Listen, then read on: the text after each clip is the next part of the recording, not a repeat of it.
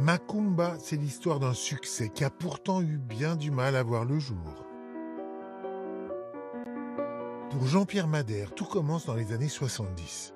Il est étudiant en informatique mais n'a alors qu'une passion, la musique. À 17 ans, il décide de changer de cap et pour ça, il va saisir toutes les opportunités. Comment on passe de l'informatique à la chanson Ah, ça, ça a Hein été très très facile. Tu fermes tout et tu en fais autre chose en fait. C'est-à-dire Ah ben, J'en avais un peu marre, je ne voyais pas finir ma vie derrière un, cl- un clavier, tu vois. Ses armes, il les fera en tant que bassiste dans l'orchestre de bal toulousain Les Gaulois.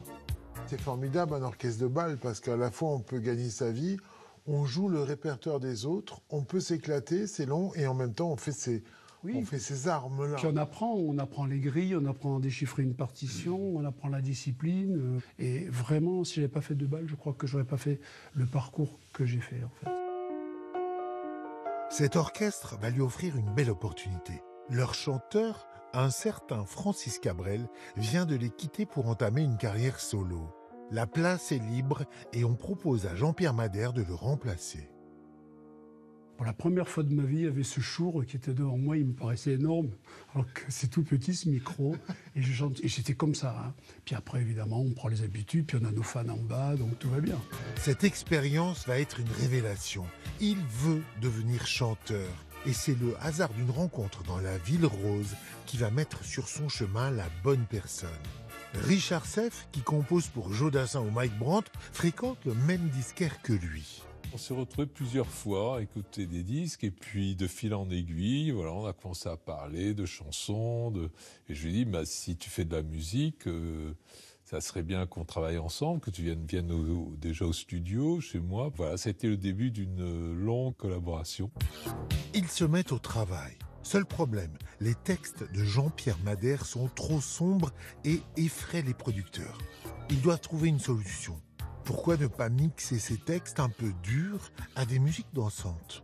L'essai se fait sur un premier titre et ça marche. Ils sortent Disparu, qui va se vendre à 250 000 exemplaires.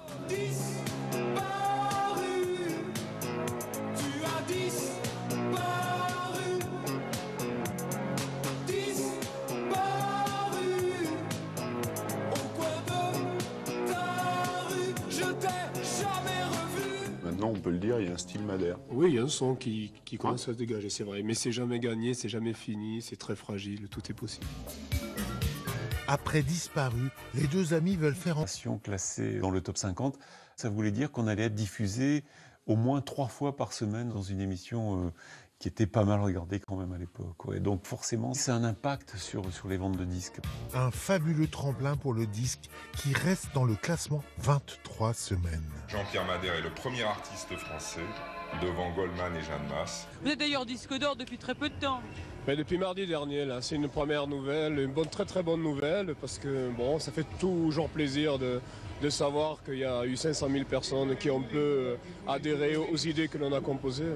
Avec Bakumba, Jean-Pierre Madère dépasse le succès de son premier titre disparu. Un succès populaire surprenant si l'on écoute bien les paroles. C'est une spécificité de Jean-Pierre Madère. Il nous fait danser sur des histoires épouvantables. Il nous raconte une histoire de fille qui a échoué dans une boîte de nuit. C'est absolument glauque, mais en même temps, tout le monde danse avec innocence. Elles nous ont fait chanter, danser et même vibrer ces chansons au succès fulgurant. Des tubes qui ont bercé leur époque et qui encore aujourd'hui nous rassemblent pour notre plus grand plaisir. Et vous, vous